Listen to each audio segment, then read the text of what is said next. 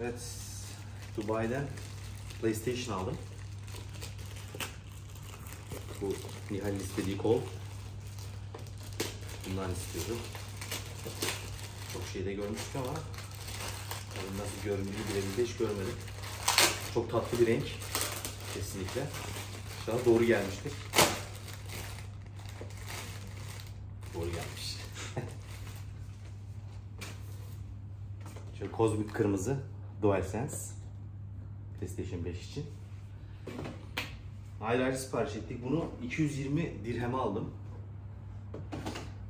5.5'la çarpın 6 ile 5.5'la kafanıza göre.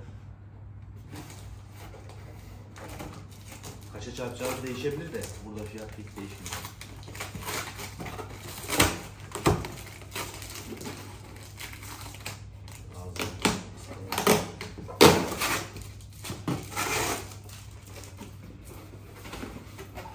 Şurada açılmış hali var.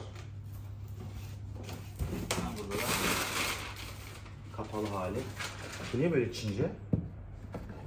Sence? Seninki böyle miydi?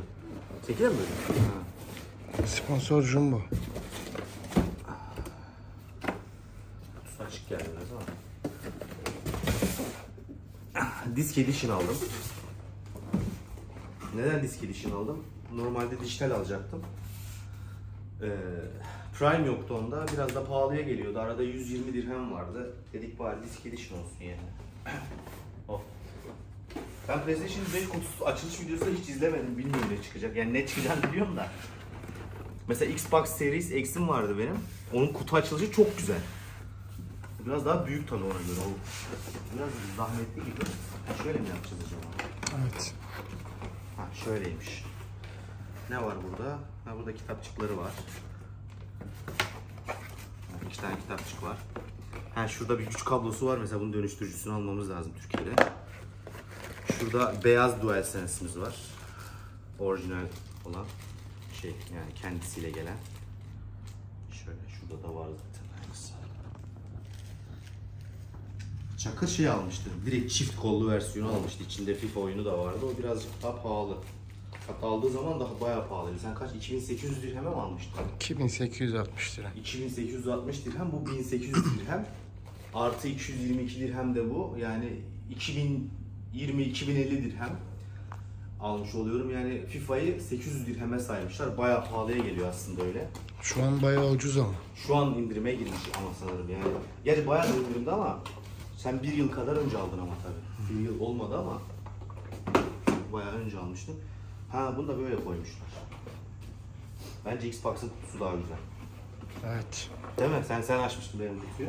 Xbox Series X'in kutu açılışı. Series S'inki de çok iyi. Ben de önce Series S vardı. Sattım, X aldım. Sonra onu da sattım. Dedim de PlayStation oynayalım.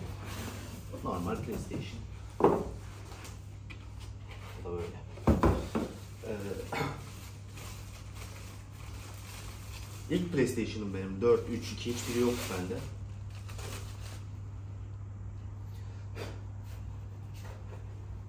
Bunu böyle yatay da koyabiliyorsunuz.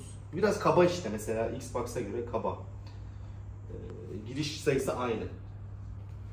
2 USB, 3 USB orada da öyleydi. Bunda fazladan Type-C girişi var sadece.